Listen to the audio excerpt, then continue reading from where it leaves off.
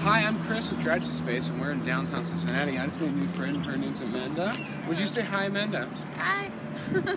So, Amanda, um, could you share with us when I say somebody in your life you're grateful for? Who comes to mind first? God. God. Okay. Can we can we level it down to somebody that you interact with on? I mean, physically On a interact daily with. Yes. basis.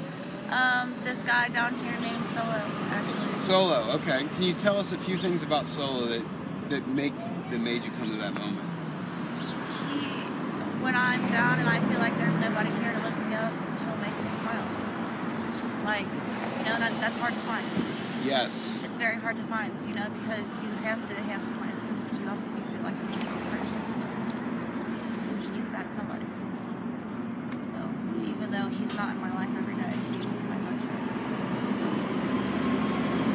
That was beautiful. Thank you for sharing Solo with us. I'm Chris with Amanda saying stay grateful.